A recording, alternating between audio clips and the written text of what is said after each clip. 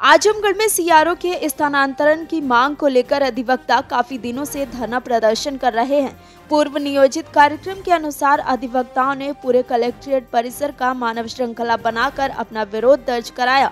इस दौरान आधे घंटे तक न ही अधिवक्ताओं ने किसी को अंदर जाने दिया और न ही बाहर आने दिया।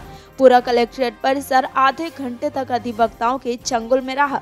जनपद में उस समय काफ़ी अजीब व गरीब परिदृश्य सामने नज़र आने लगा, जब हज़ारों की संख्या में न्याय की मांग को लेकर सड़क पर न्याय के रखवाले उतर आए और जमकर नारेबाजी की।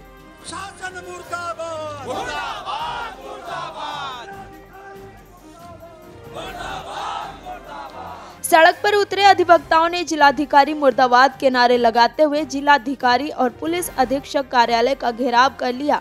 हज़ारों अधिवक्ताओं द्वारा मानव श्रृंखला बनाकर जमकर नारेबाजी की गई। सीआरओ पर न्यायिक भ्रष्टाचार का आरोप लगाते हुए अधिवक्ता उनके स्थानांतरण की मांग को लेकर इस विरोध प्रदर्शन को कर रहे हैं।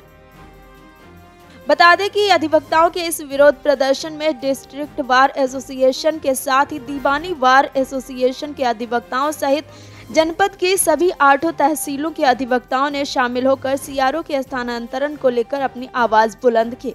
अधिवक्ताओं के प्रस्तावित मानव श्रृंखला बनाने के कार्यक्रम को देखते हुए पुलिस प्रशासन भी पूरी तरह से मुस्तैद नज़र आया। एडीएम प्रशासन के साथ ही सीओ सदर सहित अन्य अधिकारी मौके पर जमे रहे। आधे घंटे बाद जब अधिवक्ताओं का श्रृंखला बनाने का कार्य सकुशल संपन्न हो गया तो प्रशासन ने राहत की सांस ली। Video desk Amar Ujala dot com. Download करें अमर उजाला ऐप और पाएँ खबरें लगातार। अगर आप ये वीडियो YouTube पर देख रहे हैं तो हमारे चैनल को सब्सक्राइब करें और बेल आइकन को दबाना ना भूलें। अगर आप फेसबुक पर यह वीडियो देख रहे हैं तो हमारे पेज को लाइक करें।